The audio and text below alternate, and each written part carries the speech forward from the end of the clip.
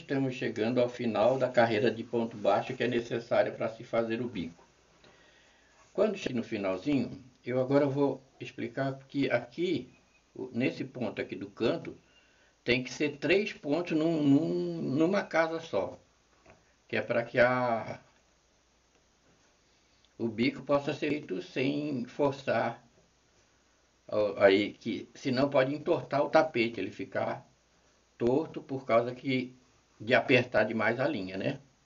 Logo meu ponto aqui ele não é muito aqui. Quando chega nesse do canto, a gente tem que colocar três na mesma. Esse aqui é o comecinho do tapete que eu fiz. Quando a gente começa, eu sempre deixo isso aqui para marcar o lado que eu estou fazendo o início da, do, do tapete, né? Então aqui um, dois, três. Três, uma casa que é para poder fazer a volta aqui sem forçar o tapete. Aqui eu já estou para começar a segunda carreira, que vai ser de ponto alto. Carreira de ponto alto, como aqui em seguida. Aqui é o último ponto, ponto baixo, né?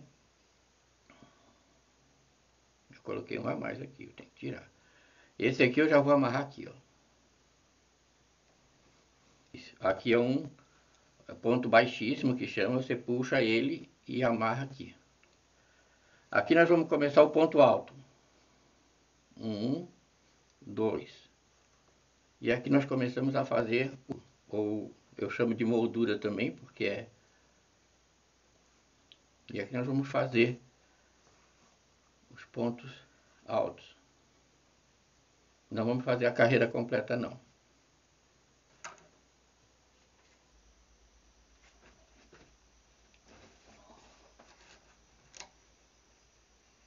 Nós vamos fazer quatro carreiras de ponto alto. Essa aqui é a primeira. Então são oito pontos altos, duas correntinhas, um ponto alto, duas correntinhas e mais oito. Nós vamos fazer junto aqui. Dois, três,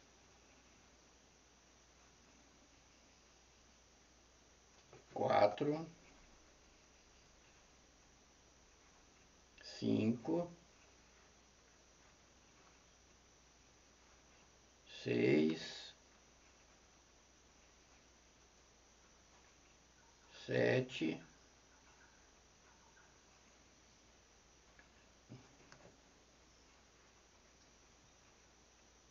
duas correntinhas, uma, duas, outro ponto alto. Conta aqui embaixo, um, dois, no terceiro ponto entra, ponto alto. Mais duas correntinhas, uma, duas, conta dois pontos, um, dois, no terceiro entra. E assim continua. Eu gosto de fazer esse tipo de ponto, porque como eu sempre falo, esse não é um, um trabalho exato ele não é um serviço exato. Então, se chegar no, no, no final aqui e dar errada a quantidade de pontos, você pode colocar um a mais ou um a menos para acertar o coisa, porque depois no, no conjunto ninguém nota. É, só a gente que faz é que sabe. Então, mas o, o ponto é esse, é oito ponto alto, duas correntinhas, outro ponto alto, duas correntinhas. Continua. Aqui está uma parte da primeira Primeira carreira de, de, ponto, de ponto alto, início do bico. Aqui eu vou mostrar como é que eu faço aqui, porque que ficaram as três, os três pontos aqui, né? Aqui você vai fazer desse jeito aqui, só que o ponto é menor. Então você coloca um, duas rentinhas E no ponto do meio, você faz o ponto alto. Oxê. Aqui. Ponto alto. E dois, duas correntinhas. Aqui falha um. E no segundo aqui você já começa a fazer a outra carreira de, de oito pontos. Né?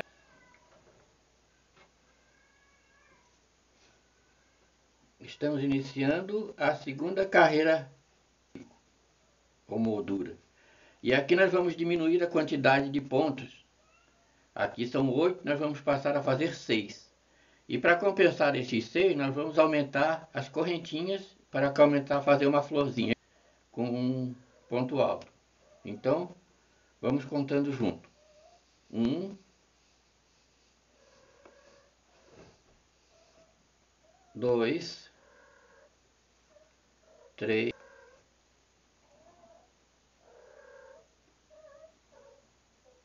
quatro, cinco, seis.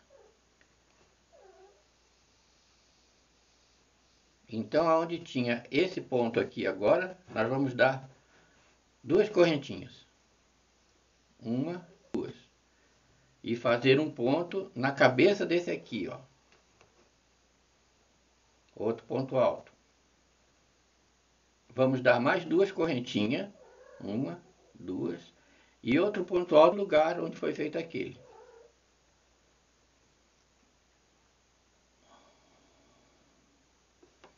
mais duas correntinhas. E agora a gente deixa o primeiro ponto aqui e pega o segundo.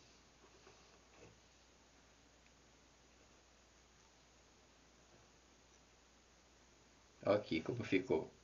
E aqui nós vamos continuar dando a sequência em seis pontos.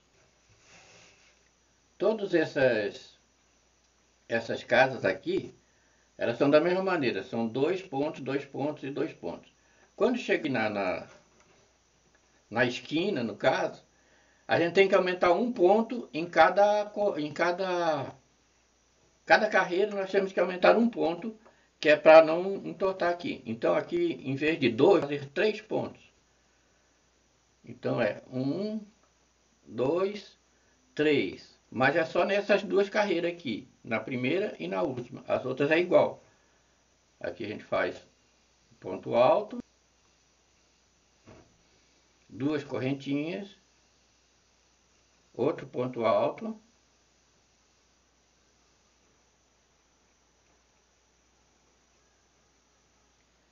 e correntinhas.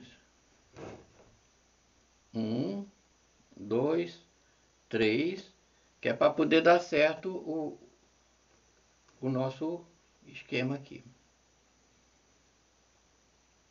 Então, essas duas, essas duas carreira aqui, elas têm que aumentar um ponto, em cada carreira vai aumentar um. Então, essa aqui é 3, na próxima vai ser 4 e na última vai ser 5 carreiras, 5 pontos. Só nessa aqui, na do meio não. Aqui nós estamos na terceira carreira de ponto alto. São quatro pontos altos. Dois. Três. quatro. E vamos fazendo a florzinha ali. Para isso nós temos que fazer duas correntinhas, um ponto alto nesse outro ponto alto que está embaixo.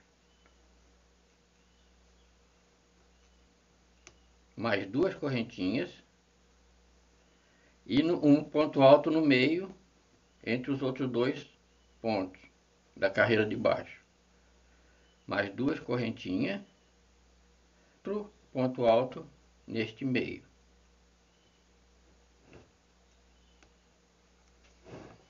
Duas correntinhas.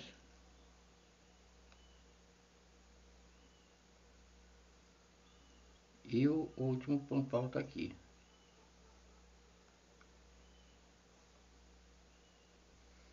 Agora as correntinhas já vão ser da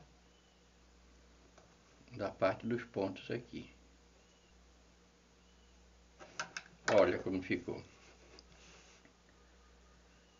Então são quatro pontos altos, duas correntinhas, ponto alto, duas correntinhas, ponto alto. Reiniciando. Aqui estão os dois, os últimos dois pontos altos aqui, e fazer os picô.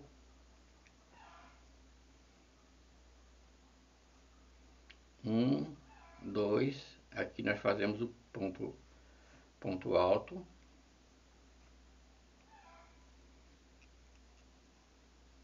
E aqui nós vamos fazer o primeiro picô.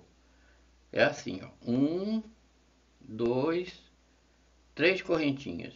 Né? Da última correntinha você volta lá na primeira e pega na linha daqui, ó. Puxa.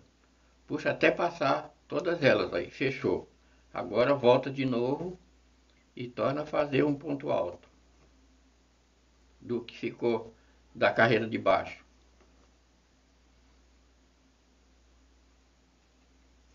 Aqui. Então esses são os picô.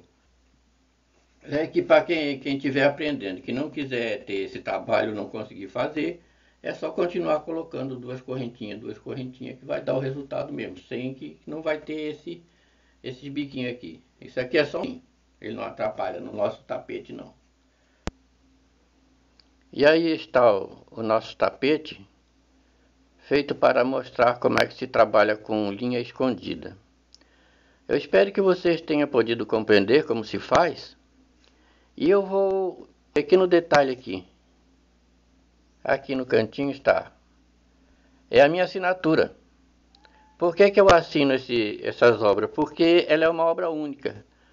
Que tanto este quanto esses outros que estão ao lado dele nunca vão poder ser feito outro igual. É uma obra única que você faz uma única vez e nunca mais repete outro igual porque quando você mostra os pontos, eles vão mudando de lugar. Vocês tenham compreendido e gostado do trabalho e imitem, eu acho bom. Até a próxima.